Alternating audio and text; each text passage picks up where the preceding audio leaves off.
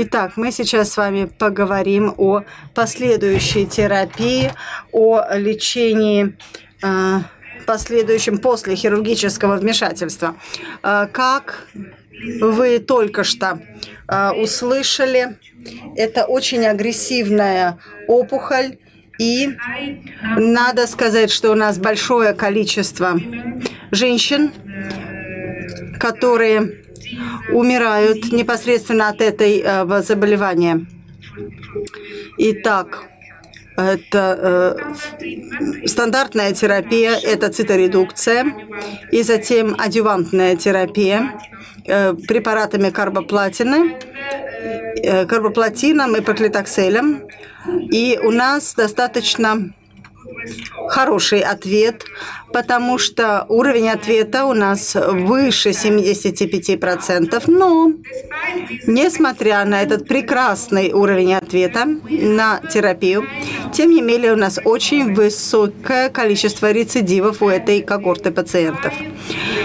И пятилетняя выживаемость для распространенного рака э, приблизительно составляет 40%. Э, затем риск рецидива э, также соотносится с хирургическим стадированием. Надо сказать, что рецидивы, общая рецидивность у нас приблизительно от 60 до 80 процентов. И один, стадии первая и вторая а, среди этих пациентов у нас будет ниже рецидивирование, но тем не менее остается достаточно высоким, 20-25%. И в основном подобный э, уровень рецидивов, эм, подобные рецидивы возникают через 18 месяцев после эм, получения э, терапии. Мы считаем, что эм, рак яичников является хроническим заболеванием, потому что эти пациенты в течение своей жизни, э, у них будет рецидив. И, соответственно, это большая проблема, потому что до этого у нас была только одна линия химиотерапии. На данный момент у нас новые препараты выпущены на рынок, и поэтому сегодня очень важно для пациентов, именно для этих пациентов, потому что они могут перейти из одной терапии на другую, и таким образом они могут э, уйти в хроническое состояние этого заболевания без э, э, серьезной прогрессии. Прогноз – это прежде всего анамнез этой пациентки, потому что э, это гистопатология, это клиническое стадирование и также наличие резидуального или остаточного болезни в послехирургическом периоде. И мы каким образом мы ведем этих пациенток? Во-первых, самое первое, это мы должны а, их вести в послеоперационном периоде, потому что мы должны определить а, наличие рецидива. А, каким образом мы определяем этот рецидив? Во-первых, это физикальная оценка, во-вторых, это визуляционные техники, это химическая оценка. Например, если у нас э, есть повышенные, так скажем, э, лабораторные параметры. И затем, э, эм, конечно, оценка врача-рентгенолога очень важна для того, чтобы оценить наличие или отсутствие возникающего рецидива. И и, соответственно, если мы с вами посмотрим на э, руководство НССН, то вы видите, что здесь описывается роль визуализации. Она не очень хорошо определена. На самом деле это так во всех руководствах, потому что несколько обществ комментировали э, и э, оценивали э, клини э, клиническую оценку и также показатели крови и затем э, направляли на визуализацию только при необходимости. Но э, при этом э, вот это при необходимости остается очень непонятным показателем, очень непонятным требованием. И, соответственно, какая визуализация нам нужна и какова из них является самой важной. У нас три основных сценария. У нас может быть пациент с повышенным эм, показателями крови и отсутствие, отсутствие химиотерапии в анамнезе или клинический рецидив после предыдущей химиотерапии, или у нас может быть, так скажем, повышенная ген CI-125 и, соответственно, экспрессия гена, если повышена, то мы опять-таки направляем пациентку на КТ или на ПЭТ-КТ и у нас есть также небольшая пропорция пациенток. Это пациентки без какой-либо экспрессии э, гена CA125. В этих случаях роль визуализации действительно является ключевой для того, чтобы определить наличие э, рецидива. То, что касается американского, американской коллегии э, радиологов, у них есть свои критерии, и они считают, что КТ является лучшим инструментом для оценки подобных пациенток, и они, э, и они оценивают рекуррентность а, или рецидивирование а, при помощи ПЭТ-КТ в основном. И обычно это, а, этого достаточно. В то время как МРТ брюшной полости с внутривенным контрастом определяется как возможно, возможный инструмент оценки. И, возможно, в этой схеме, вот, которая используют американские радиологи, возможно, обычно они используют МРТ уже более часто, что не включено в эту схему, потому что все меняется очень быстро. И надо сказать, что в довершении к традиционным методам оценки мы начали диффузионно взвешенное изображение использовать. И э, во время это, в рамках этой презентации я могу сказать, что мы уже достоверно говорим о хороших возможностях этой техники. И э, еще одна серьезная проблема заключается вот в чем.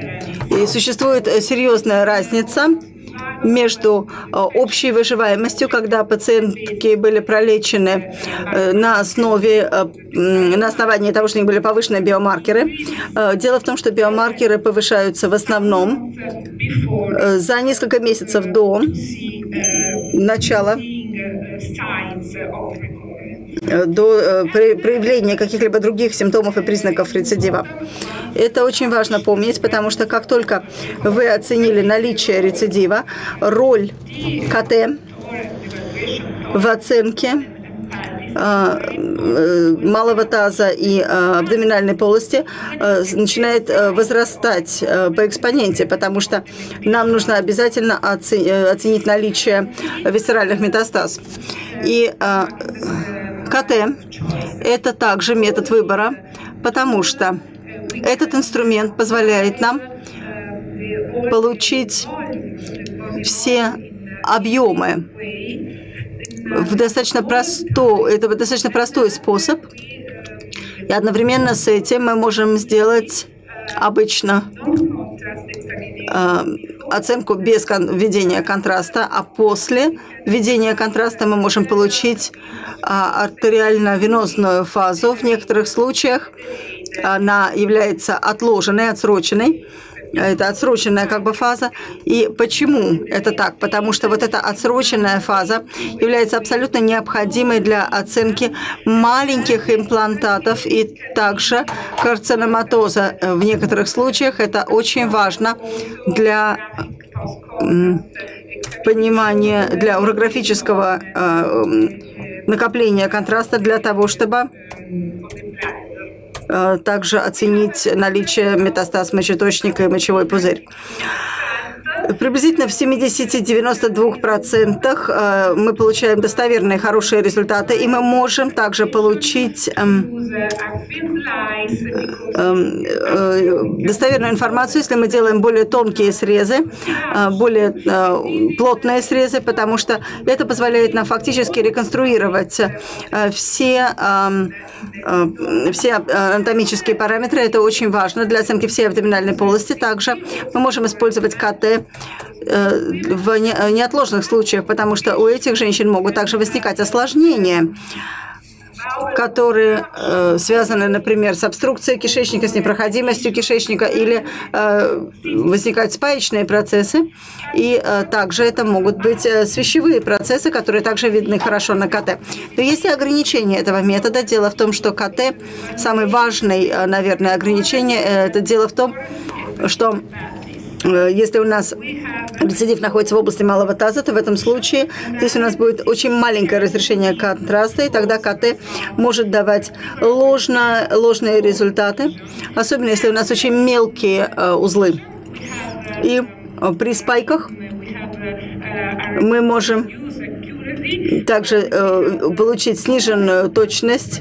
У нас могут быть небольшие такие участки канцероматоза, меньше 5 мм, особенно если эти, э, если э, если в тонком кишечнике или на тонком кишечнике находятся эти, непосред... эти узлы, то это для нас огромная проблема, потому что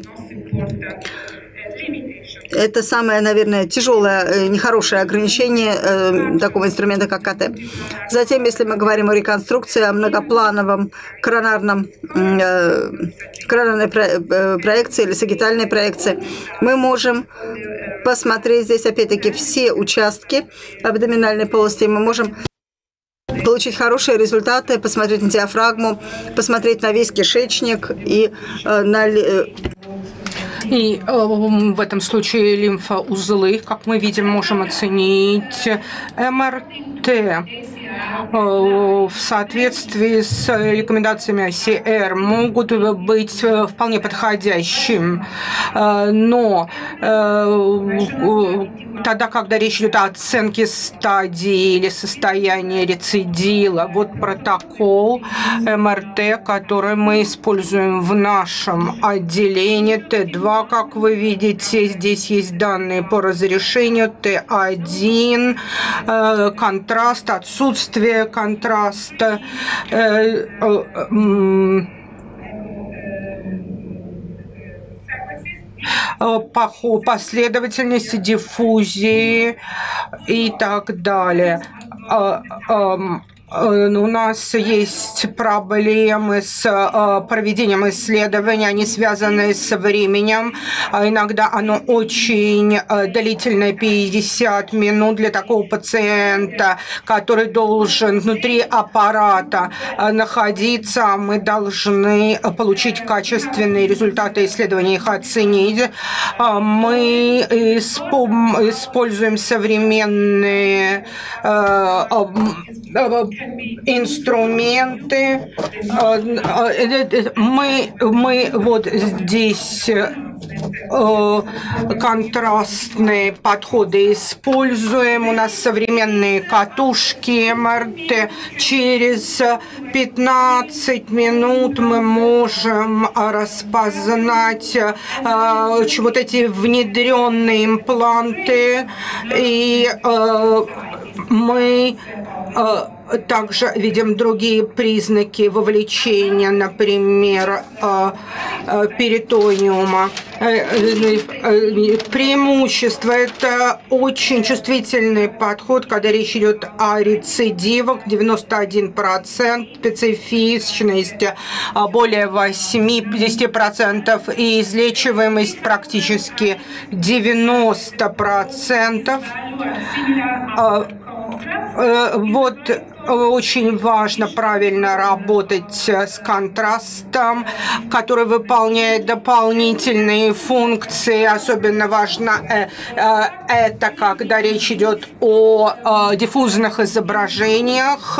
У нас есть возможность улучшить уровень распознавания, когда мы пытаемся диагностировать карциноматоз и эм, у нас нет ограничений, когда мы работаем с диффузными изображениями, кальцифицированные импланты. Также распозна... распознаются импланты меньше одного сантиметра на обычных изображениях лимфоузлы, их определение, что очень важно, а, низкая степень, а, особенно в случае низкого рейта, как сейчас говорят, и обычные. Вот, например, например, э, вот эти фузионные изображения, э, диффузия, как вы видите, присутствует у нас Э, высокое разрешение, конечно, есть. Именно поэтому диффузия крайне важна э, для того, чтобы мы могли выявить эти ограничения их присутствия. Э, МРТ всего организма, какова роль его? Было исследование проведено в связи с раком яичников.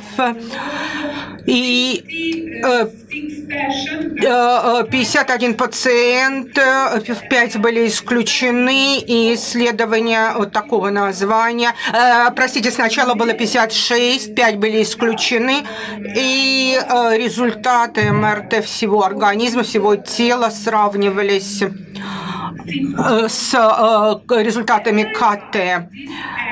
Вот автор исследования показали, что имеет место улучшение курабельности. Это крайне важно при сравнении с КАТО с точки зрения того, что этот подход МРТ давал возможность определить более точно локализацию образования. И я не буду вот это читать. Кроме того, вот здесь есть заключение по этому исследованию.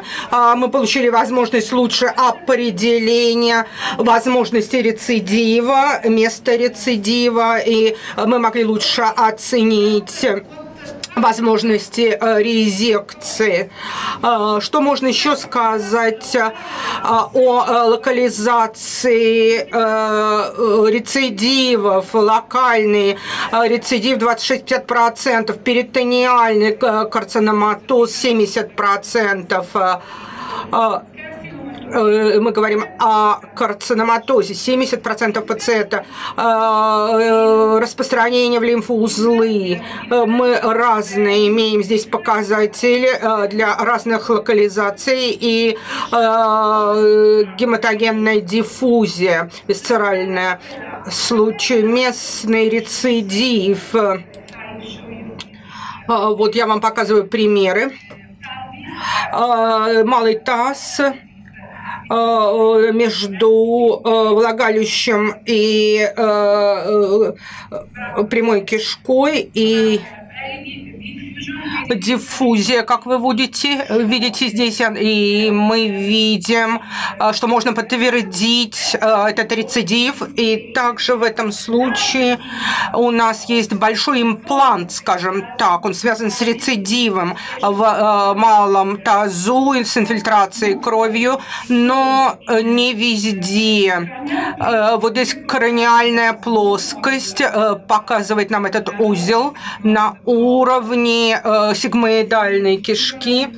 Мы видим здесь диффузию вот здесь на этом уровне и также дополнительный инфильтрат.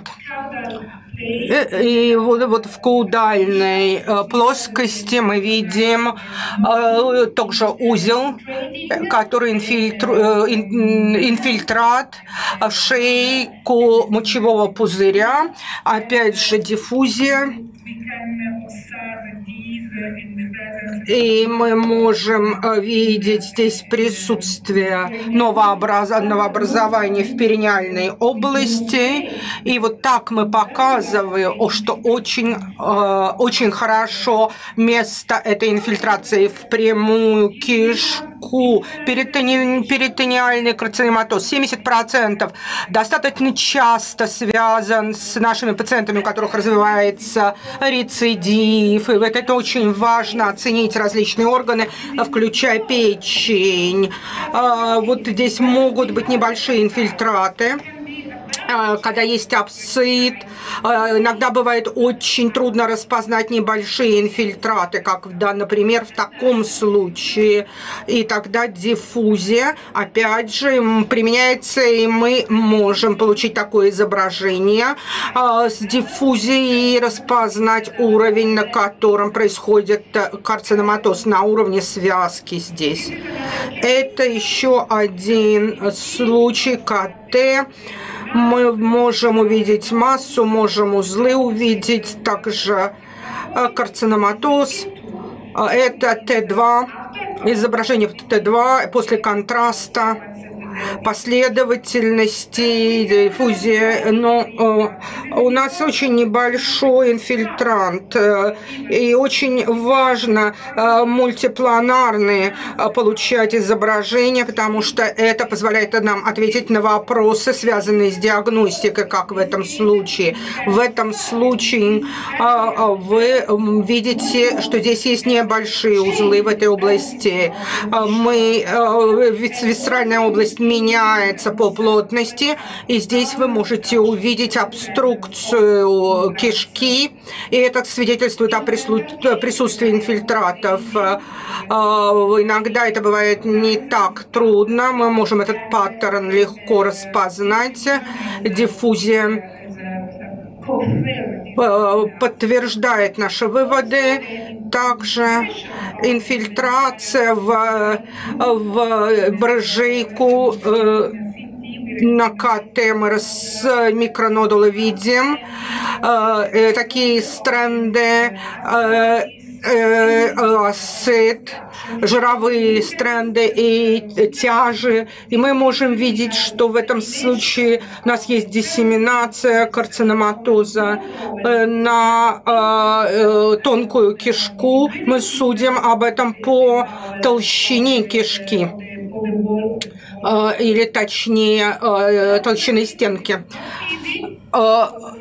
Иногда это не всегда просто, потому что, например, вот как-то нам показывает небольшой узел, а, мы выполняем в ММРТ, э, и мы видим инситу э, узел э, с подавлением, также на изображении с подавлением это подтверждено, и вот здесь вот негативный результат, я не узнаю этого узла, но а, у нас было большое подозрение, что там есть инфильтрация или буквально импланты, как теперь мы пишем. И вот мы э, получаем такие значения э, по экспрессии К125 950 и начинается терапия. Э, через три месяца у нас вот такая ситуация Э, развивается резистентность к карбоплатиновым препаратам, и мы видим э, с помощью диффузии карциноматоз. Э, вот здесь могут быть и такие проблемы.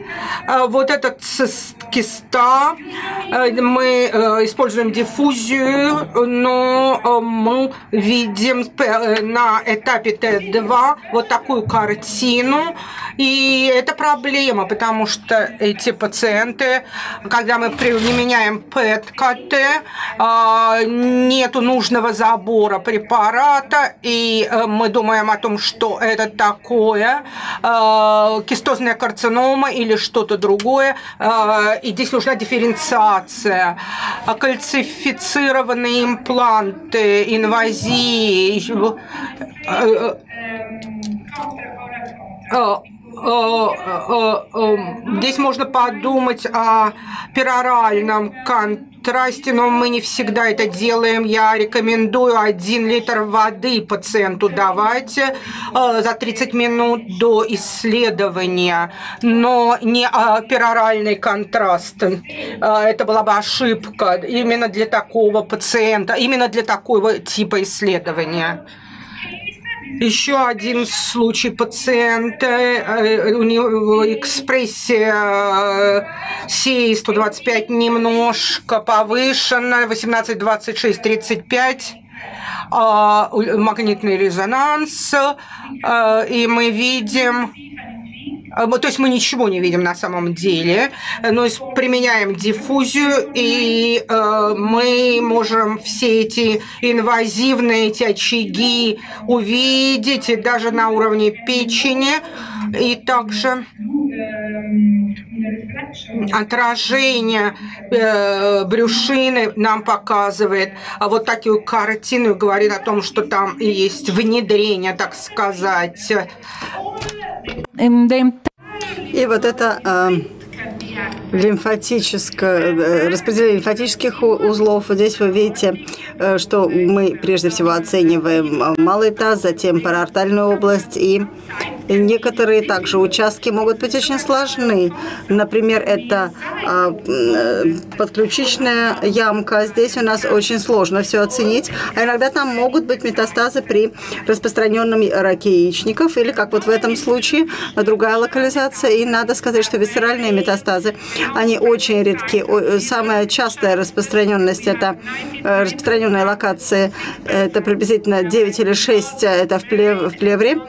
И также метастазы в кости или в головной мозг э, возникают всего лишь в одном проценте случаев. И мы полагаем, что Э, эти э, женщины, они э, живут дол долго достаточно, и прежде чем мы увидим метастазы в костной ткани или в головном мозге, потому что это самый последний, так скажем, этап развития этого, этой болезни. Вот это некоторые примеры. Вы видите, что здесь у нас большие достаточно импланты, и также мы видим здесь метастазы и инфильтрацию в печень.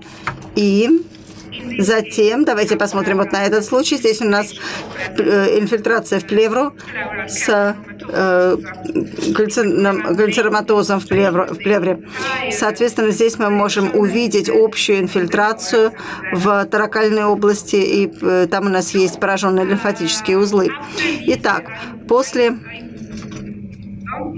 этого в конце концов, я не, не обсудила с вами шкалы, потому что э, следующая докладчица будет как раз говорить о э, шкалах и градации.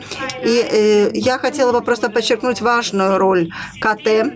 Дело в том, что КТ является нашей первой линией в кли, э, в кли, выбора в клинической э, практике при оценке подобных пациенток. Но КТ, тем не менее, имеет определенные отрицательные Э, моменты. У нас, например, могут быть повышенные биомаркеры, но отрицательные результаты по КТ. И опять-таки, конечно же, цена проведения такого исследования, как КТ, она действительно кусается для системы общественного, для общественной системы здравоохранения. И, возможно, в будущем, если у нас будут какие-либо изменения э, в технике, в получении а, то, возможно, МРТ будет играть гораздо большую роль. На данный момент это только отдельные случаи, потому что это очень длинное, тем не менее, длительное исследование, и у нас а, иногда могут быть артефакты у этих пациенток в клинической практике, а, конечно же, не в области исследований. Да? И фактически американская коллегия, европейское общество остается а, остается все-таки при э, то мнение, что КТ является лучшим выбором. И в будущем, если мы заглянем с вами в будущем, мы знаем, э, что эта пациентка с раком яичников, у нее будет рецидив. Мы это знаем. Что мы можем сделать для того, чтобы как-то э, спрогнозировать время рецидива? Надо сказать, что э, сегодня мы работаем над новым полем исследования. Это радиомика. И, например, вот это, вот этот институт уже опубликовал э, подобную оценку. Э, это, так скажем, радиомика – это наука, которая позволяет нам прогнозировать рецидивы. Э, на основе современных методов КТ. Вот это ретроспективное исследование, и они выбрали семь э, паттернов радиомики, которые постарались их скоррелировать с возможностью или с вероятностью возникновения рецидива. И вот это наше будущее, будущее, э, в, о котором мы уже начали обсуждать. Мы говорим о роли самообучающихся машин и искусственного искусственного интеллекта. И я полагаю, что для них, возможно, это тоже вот хорошая работа. Э, и в будущем мы будем э, иметь возможность прогнозировать. Итак, моя финальная рекомендация заключается в том, что нам важно продолжать наши исследования, и мы, нам важно продолжать обращать внимание на этих пациенток, когда мы их обследуем, потому что это заболевание, оно распространено абсолютно везде. Где бы мы не проводили МРТ или КТ, мы можем обнаружить эти рецидивы абсолютно в разных локализациях. Спасибо большое. Коллеги, э, конечно, вот очень насыщенный, интересный доклад у Люси. И э, дело в том, что мы понимаем с вами, что прогрессирование при раке яичникова развивается так же бессимптомно, как и первичная опухоль. И поэтому, конечно, задача нас, как специалистов э, метода визуализации, как и специалистов, те, которые, так сказать, участвуют в иммунологических исследованиях, выявить тогда заболевание, заболевание, когда э, возможное лечение будет иметь хороший прогноз. То есть, естественно, чем будет раньше выявлено, э, будут выявлены признаки прогрессирования, тем раньше будет начато своевременное лечение, и тем, соответственно, это будет лучше прогноз заболевания. Как мне одна пациентка тут недавно сказала, Марина Альбертовна, я хочу вас пригласить в ресторан отпраздновать. Я говорю, с какой, по какому поводу? Отпраздновать 25-летие. Я говорю, 25-летие чего? Нашего совместного общения. То есть после первичного, э, первичной диагностики у этой пациентки еще было два рецидива, которых своевременно полечили. И вот, э, так сказать, от момента первичного установленного диагноза третьей стадии рака яичников прошло 25 лет. Ну, конечно, так сказать, молодцы все. Вот. Ну, прекрасный доклад, Люсия. Еще раз спасибо большое. У кого-то, может быть, есть вопросы? Пожалуйста. Uh, thank you very much. Uh, so as I correctly... Большое спасибо. Если я правильно поняла, в основном вы используете КТ для оценки э, рекуррентности. Это и малый таз, и абдоминальная полость. И в каких случаях вы используете все-таки МРТ? Не очень понятно, это осталось за кадром. Если у нас есть подозрение на локальный рецидив, и мы начинаем тогда делать МРТ, если у нас э, отрицательные результаты по КТ, но при этом у нас есть повышенные э, экспрессии э, CA-125 и э, также для исследовательских целей, потому мы начали проводить э, МРТ всего тела. Затем, если у нас Э, признаки, которые не позволяют нам э, все-таки поставить диагностику, тогда мы проводим под КТ. И как первоначальная диагностика, вы записываете PCI э, индекс в отчете? Да, в отчете.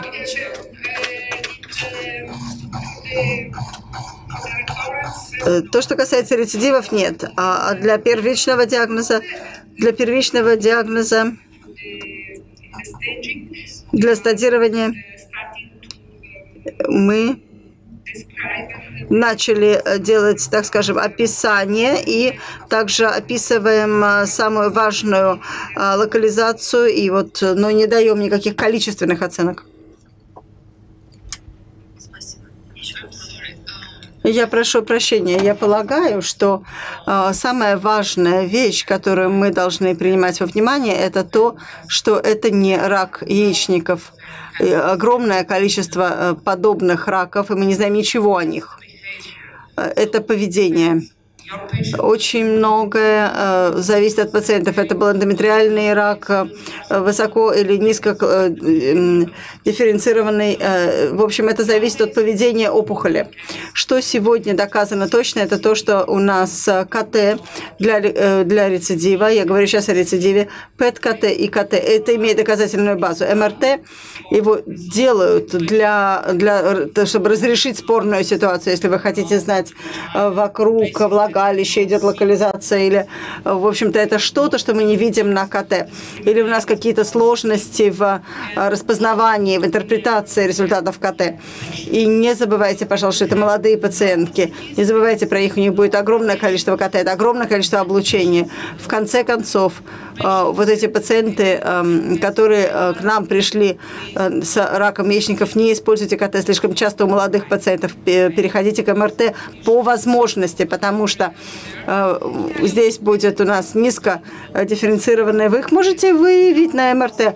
Огромное количество калцинатов, большое количество э, всего на КТ. И вы уверены, что это э, пациент с опухолью, которая с и это серозная опухоль точно с кальцинатами. Соответственно, если вам нужно сделать КТ, это Луция вам и пыталась донести, что вы что пациентка пьет воду. Воду не контраст, не контраст. Мы не используем пероральный контраст. И мы использовали его несколько лет назад. Приблизительно пять лет назад еще использовали. Сегодня мы даем пациенткам просто водичку. Один литр воды через 20 минут, за 20 минут э, до э, начала исследования. И это очень важно, потому что, например, мы можем провести исследование а, схожее с КТ э, для того, с, с, для того, чтобы оценить толщину стенок тонкого кишечника, чтобы исключить или подтвердить наличие или отсутствие диффузионного канцероматоза у этой пациентки. Но если там есть кальцинаты, вода, как вы понимаете, вода является самым лучшим а, вариантом здесь для оценки этих пациенток. Но проблема заключается в том, что это молодые пациентки, радиация, радиационная доза радиации. Ей предстоит еще огромное количество исследований. Пожалуйста, начинайте с МРТ. Все эти кальцинаты, они очень хорошо видны на МРТ. Вы можете их увидеть. Вы можете увидеть, что внутри находится, где находится опухоль вживую. У этих пациенток используйте МРТ. И вы можете также увидеть активность в этих э, местах. Это лучше. И это лучше просто потому, что они молодые, потому что они, э, надо бы избежать большое количество э, облучения для того, чтобы у них не развился другой рак.